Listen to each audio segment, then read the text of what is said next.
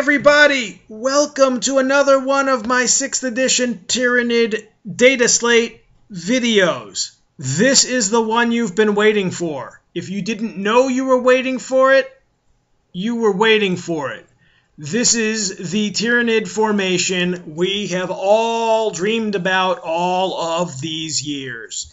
The endless numbers, the constant, never ending tide of Tyranids. This is it in a formation. It is appropriately named the Endless Swarm Formation. Let me read the uh, prologue. To battle the Tyranids of Hive Fleet Leviathan is to live a waking nightmare, one where the odds of survival worsen with every passing minute. The endless swarm is the ultimate expression of this phenomenon. Wave after wave of warrior beasts surge towards the foe, a rippling tide of chitin and claws that will eventually sweep over all before it. No matter how many individual horrors the, the foe brings down, more will always pour forward to fill the gap for the hive mind spins the lives of its broods as a conventional army spins bullets. Or bolts. Probably not too many bullets in 40k, but who's going to nitpick? So, let's look at what this little bastard does.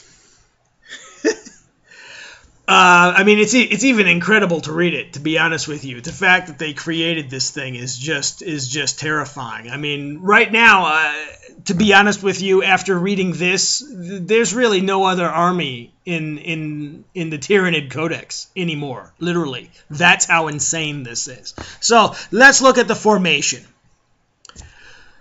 An endless swarm consists of the following units: three Hormagaunt broods. Two Termagant broods. One Tyranid warrior brood. There is no formation restrictions. So you can set these guys up any way you like. And as with as many numbers up to unit max. Okay. Now, here's one special rule endless swarm. Each time a Hormagaunt or Termagant brood from this formation is completely destroyed, roll a d6. On a 4 plus, you can immediately, immediately place a new unit into ongoing reserve. That's ongoing reserve, not normal reserve, so it automatically shows up next round. And yes, for all the lictors with pheromone trails and everything like that, uh, the tunnels, keep those in mind. Ongoing reserve. What does that mean? Uh, okay, well, basically the unit regenerates. The exact same unit same size, same model, same number. It's still a part of the same formation. Uh, on a 4 plus, just starts next turn. Um, that's as simple as oh for victory points i had to clarify this before the victory points for the destroyed unit only are given to the opponent if you don't make your 4 plus roll so uh, if you do make your 4 plus roll it doesn't even count as a destroyed unit. Wow. I mean, what else do you need after you have this?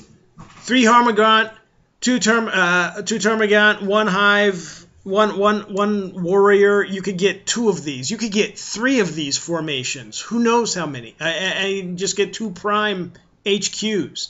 I mean, that's it it's done. I hope you have enough NID models.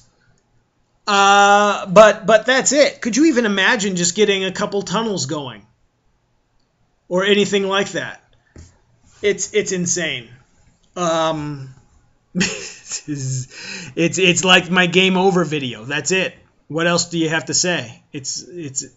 Anyways, uh, I'll be going on to the other videos after this. They have a next one is going to be called the Living Artillery Node, um, which which is almost as as good for us as bad for them. And I will see you next time if you're still not convinced that the Tyranids will rule all. Bye.